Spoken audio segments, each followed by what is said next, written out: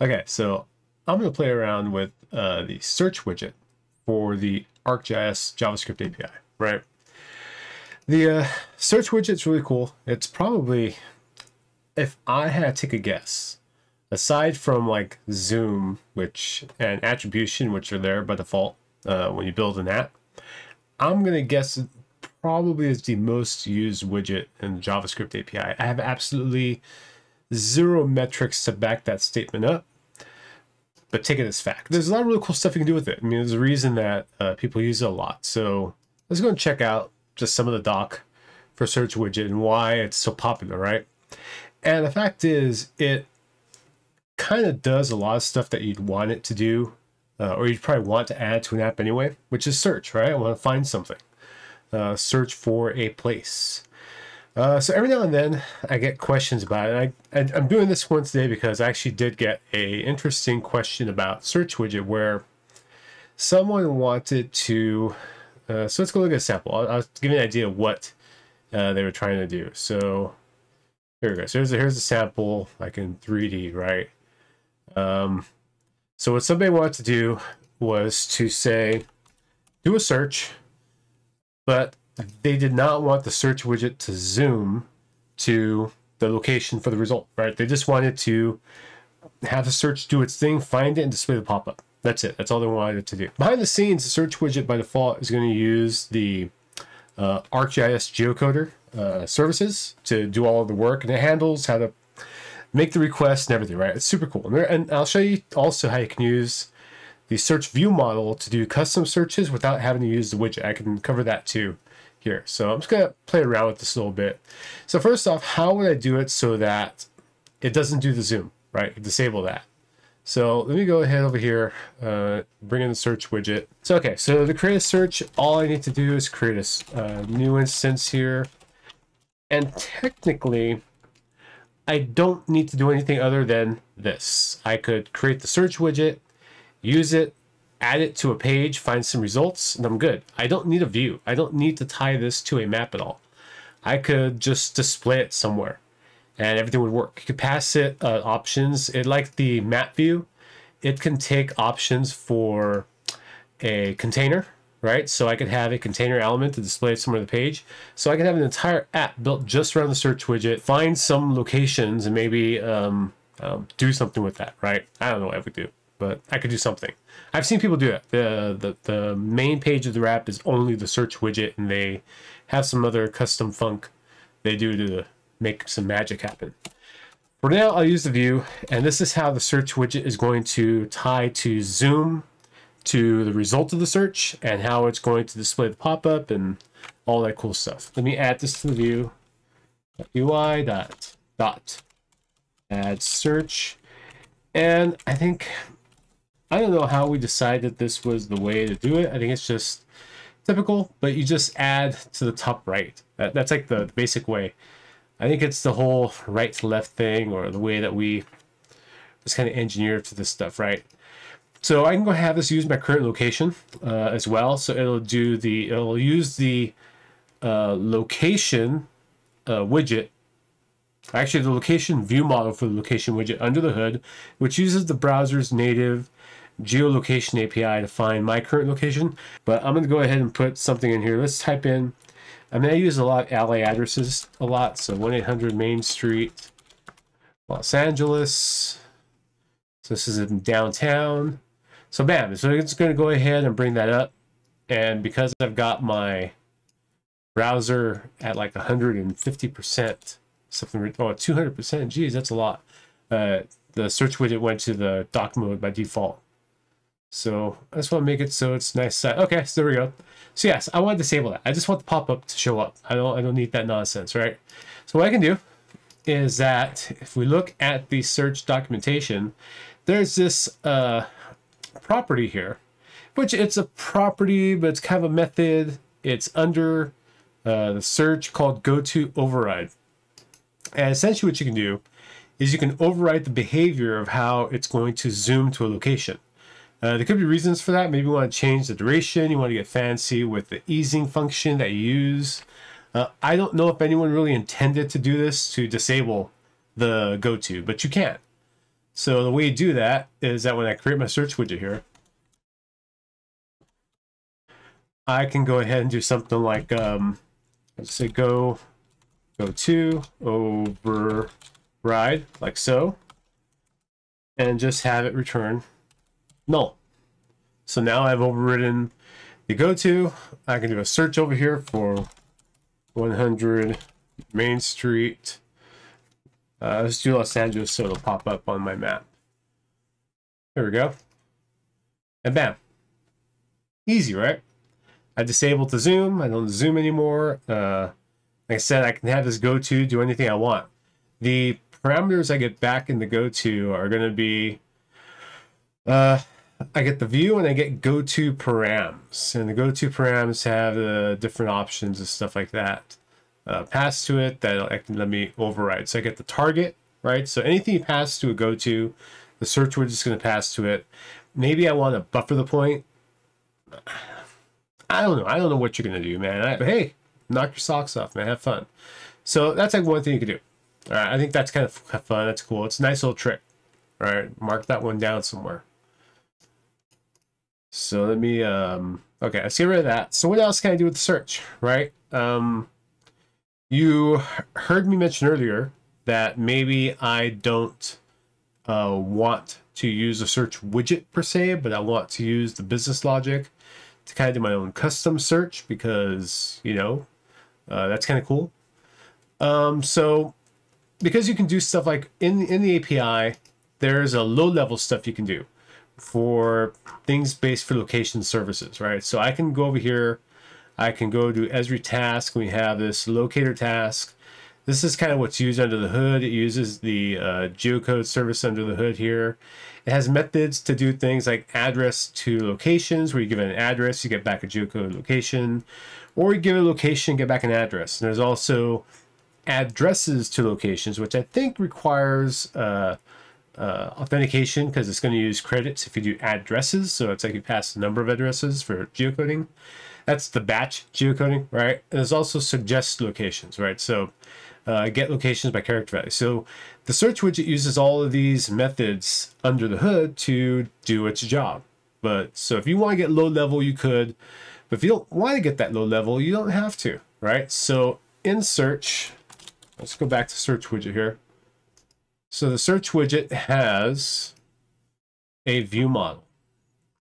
And this is where all the business logic and stuff is managed under the hood for the widget. So the, the widget itself is just a view, it's a UI, and the view model handles business logic.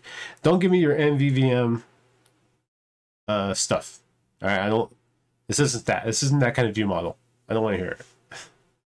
And we need a name, and naming things is hard. Please give me a break. Okay, there's no rule anywhere that says I need a search widget to use a search, search view model, right?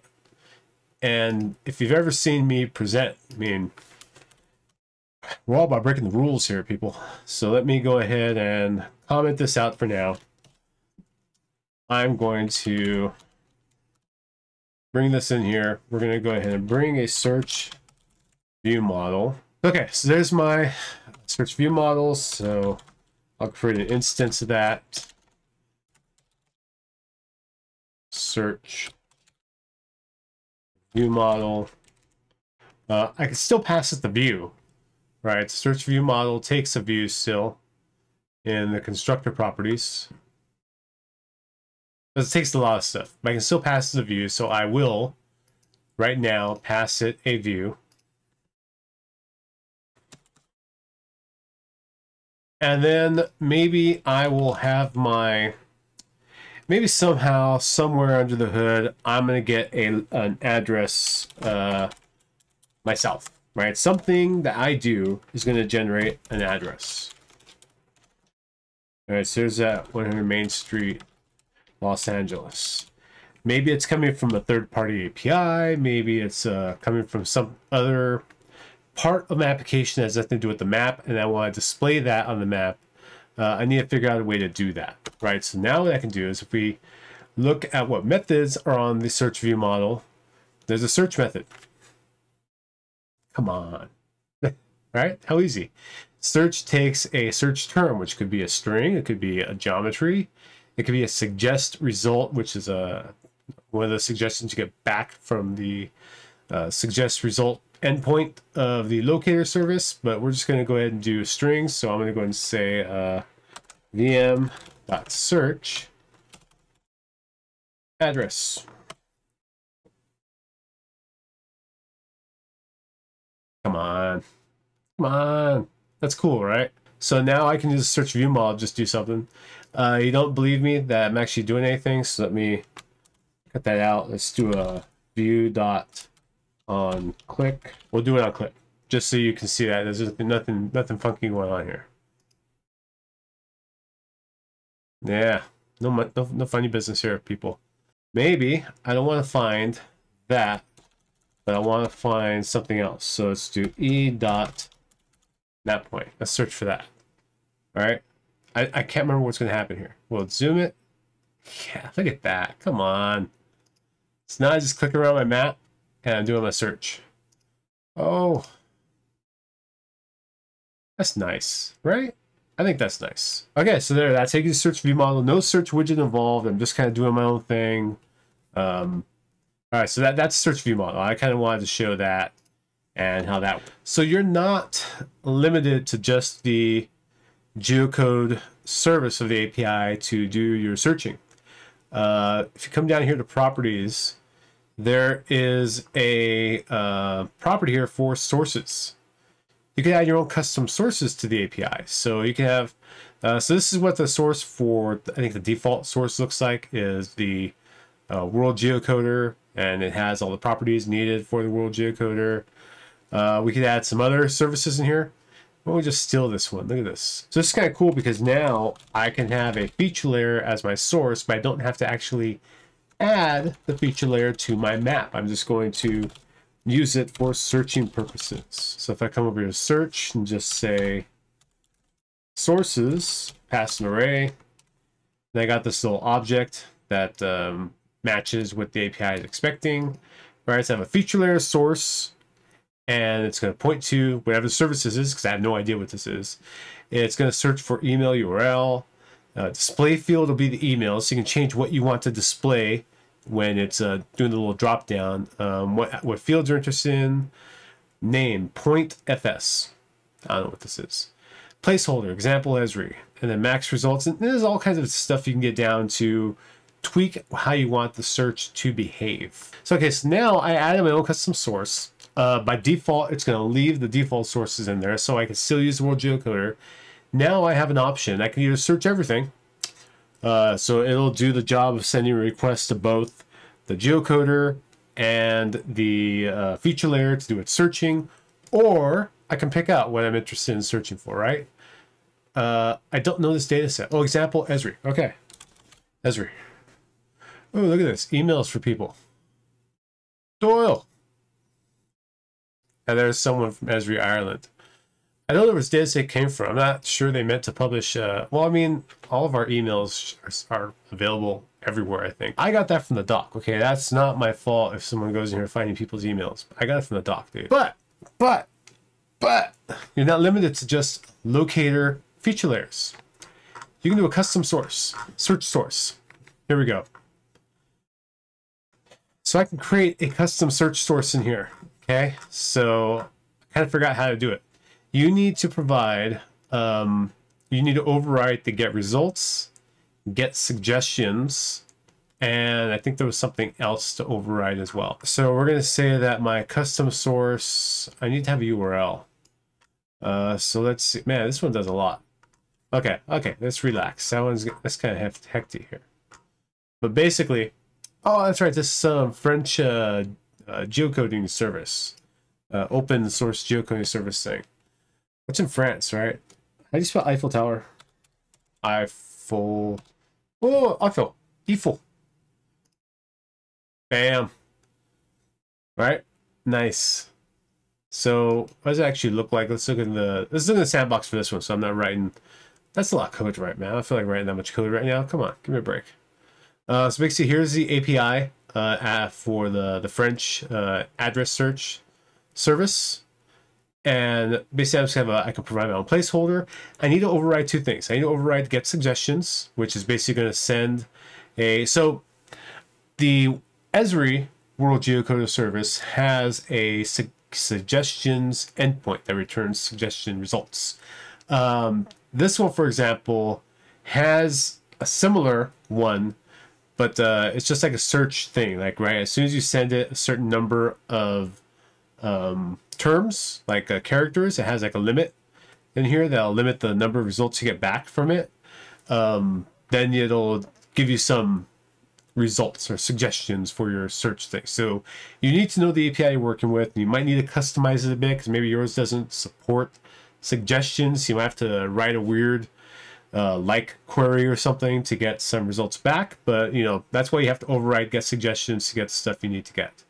And you just need to format it a certain way to return it with key, uh, the text, and then the source index because we need to kind of know where, what was the uh, the source, right? So where is the excuse me, where's the result coming from, right? The, the widget needs to know that, and then you need to override to get results. So it's going to take uh, like locations. So if there's a location provided, meaning that someone used the point thing, the find my current location in the search widget, you get a, a point location.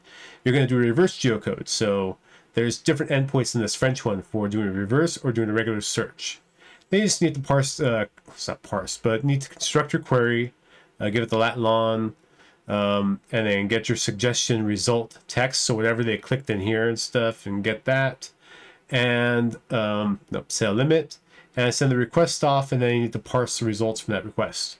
Right? They're not going to look like the results you get back from a third-party API. Probably are going to have uh, there's no guarantee they're going to have a lat long. They might have just XY. They might have the some weird format for returning the geometry location for something. So you just got to figure that out, all right? Uh, which is cool. The neat thing here too is that you might be able to do some sort of weird kind of um, uh, transformation of the data as you do your search or something, or validate before you do the search. I don't know. I think custom search source is really cool. I dig it a lot. Man, whoever worked on that is a genius, right? Because man, that's awesome. So yeah, like I said, I think the uh, search widget is really cool. Um, I've gone over quite a bit of it. Uh, check out the API for it, right? I think there's a lot of really cool stuff in the API for search widget. Just come over here. Things you can do with the, the widget by itself, uh, just with different properties you can set for it. You can customize it a bit. Um, it's got the regular search uh, and suggest methods on it as well that you can do. Uh, but it's a lot of fun. So have some fun with it. Uh, play with search, use it for your own apps, right? Have have a blast, man. Uh, customize it, knock yourselves out. Thanks.